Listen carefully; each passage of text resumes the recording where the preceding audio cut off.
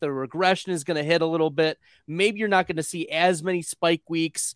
And the first one may or may not surprise some people, and that's Jalen Hurts. I'll give my reasons, and and Matt, if you want to chime in as well, I think that ultimately comes down to the rushing touchdowns and moving the pile. Those are not things that are are sticky, and we saw Jalen Hurts get a ton of rushing touchdowns, and then they addressed the running back position with D'Andre Swift and Rashad White this offseason. So I think that there's going to be more goal line options that are going to take away the fluky touchdowns or the one yard scores that Jalen Hurts was scoring so much in this breakout year.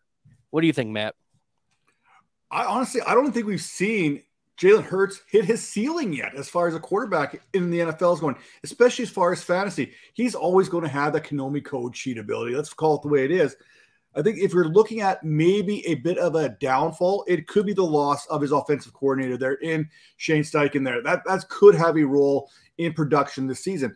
But we know that that's going to happen, right? When you lose someone that you've been working with, that's helped coach you, bring you along since you're a rookie, it's going to affect you. And anyone telling you otherwise, they're just going to be a flat out liar. Now, will he drop off a lot? I don't think so. Whenever you have the ability that he can do with his legs and move the piles, as far as I'm concerned, those sneaks are still going to be there. The NFL did not address that as far as the competition committee is con- concerned. But do we even trust the running backs that they added, D'Andre Swift or Rashaad Penny, to stay healthy this season?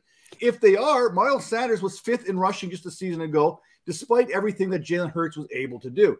I don't see D'Andre Swift or Rashaad Penny being a top five rusher this season because I don't think either one of them is going to stay healthy. In fact, there's going to be times where they're probably both going to be out. It's going to be Kenneth Gainwell and Boston in there doing everything that they need to do. So I, I just don't see where that drop off, where that dip is going to be. I've got him at QB3 in fantasy. And guess what? That's basically what he was last season. And he didn't play in week 16 or 17 on a points per game basis. Hurts led all quarterbacks, averaging 26.8 fantasy points per game. Now, that average is going to go down slightly, probably. And I, I mean, he's going to be right there with Patrick Mahomes, QB2, QB3, whatever that looks like. So I don't think that dip is going to be there. AJ Brown is still there. Devontae At or DeVonta Smith is still there. Dallas Goedert is going to be healthy. Remember, Goedert missed some time last season, which hurt another option in this passing game. We're talking about guys like Quez Watkins was there. Con Covey, Britain Covey, guys that you can't even you don't even remember that are on the roster unless you're an actual Philadelphia Eagles fan. Now, right. Hurts improvement has been substantial in the passing game the last few seasons. I mentioned that Konami code 750 plus rushing yards back to back. That is a lethal combination, especially when you're completing 66.5% of your passes, averaging eight yards per attempt. And here's the big thing, especially as far as fantasies, he's not turning the ball over, a 1.3% interception rate. So if he's still picking up points with his legs, if he's still passing the ball as well as any quarterback has done in the National Football League, and he's not turning the ball over, he is going to continue to be in that top three quarterback conversation. And I don't think that's going anywhere. Does he hit as many points as he had last year? Now that's debatable because if he plays all 17 games of your fantasy season, he may actually go above what he did last season.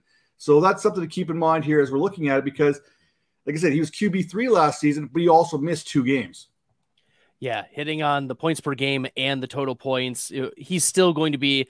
I've been ca- categorizing Jalen Hurts as one of the big three: the Josh Allen, Patrick Mahomes, Jalen Hurts. It's pick your pick your poison. Last year, Jalen Hurts, fifty-two point six percent of the time was a top five quarterback. That was most in the NFL. The next two were Josh Allen at 38 and Patrick Mahomes at 37%.